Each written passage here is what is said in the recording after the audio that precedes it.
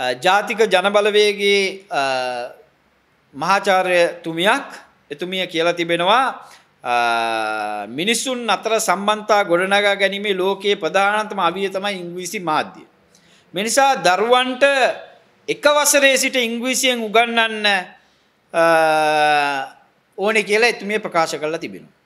ඇත්තටම අපිද කවුරුත් දන්නවා යුනිසෙෆ් ආයතනය වාර්තාවක් නිකුත් කරලා තිබෙනවා. ඒ අනුව ඉතා පැහැදිලිව මව් භාෂාවෙන් අධ්‍යයනය කරන ළමයින්ගේ කියන්නේ මව් ඉංග්‍රීසි භාෂාව අනිවාර්යෙන් 6 වසරෙන් පස්සේ අධ්‍යයනය කරන්න ඕනේ.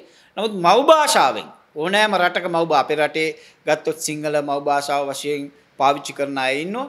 දෙමළ මව් භාෂාව වශයෙන් පාවිච්චි කරන අය ඉන්නවා. එතකොට මේ අධ්‍යාපනයේ මව් භාෂාවෙන් ප්‍රාථමික අධ්‍යාපනය ලබන දරුවන්ගේ චින්තන ශක්තිය වර්ධනය වීමක් ඒ වගේ මේ දරුවන්ගේ භාෂා හැකියාවන් මේ සියල්ල වැඩි වෙනවා කියලා ඒ වාර්තාවෙන් ප්‍රකාශයට පත් කරලා තිබෙනවා. එතකොට මේ දරුවෙක්ගේ මේ සම්පූර්ණ මුල් අවදියේම ඉංග්‍රීසි භාෂාවෙන් අධ්‍යාපනය ලැබීමට අපි විරුද්ධ නැහැ ඒක කළ යුතුයි. ඒක ජාත්‍යන්තර භාෂාවක් ඒක සංවේදනය කරන්න ඕන. නමුත් මේ මව් භාෂාවන්ගේ මුල් වලින් සිංහල හෝ දෙමළ වෙන්න පුළුවන් මේ මව් භාෂාවන්ගේ මුල් වලින් දරුවන් ගලවා දැමීම ඉතාම සම්පූර්ණයෙන්ම වැරදි ක්‍රියාවක්.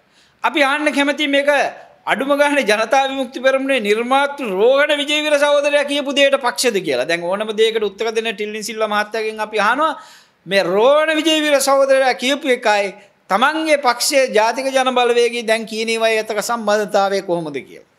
ඒ නිසා තමන්ගේම ප්‍රතිපත්ති වලට මව් භාෂාවෙන් අධ්‍යාපනය ලබා දිය යුතුයි කියන ප්‍රතිපත්ති වලට අද පස්සහරවලා තිබෙනවා. මේක තමයි වෙලා තියෙන විනාශය. ඒ නිසා අපි දකිනවා ඕනෑමට වැඩිය බටහිරකරණයක වෙන්න ගියපුවාම ඒවයින් ලැබෙන ප්‍රතිඵල තමයි මේ. එහෙනම් අපි හිතනවා මේ වගේ බොළඳ අදහස් ප්‍රකාශ නොකර ජාත්‍යන්තර වශයෙන්මුත් පිළි අරගෙන තියෙනවා මව් භාෂාවෙන් ප්‍රාථමික අධ්‍යාපනය ලබා දිය යුතුයි කියලා. ඒ ඉඩ ප්‍රස්තාව නැති කිරීම සඳහා NGO කණ්ඩායම් වලට උවමනාව තියෙනවා. ඒ NGO කණ්ඩායම් වල උවමනාවන් වාම බලවේග ඉටු කරන්න ලෑස්ති වෙන්න එපා කියන එකත් අපි ඉල්ලා හිටනවා.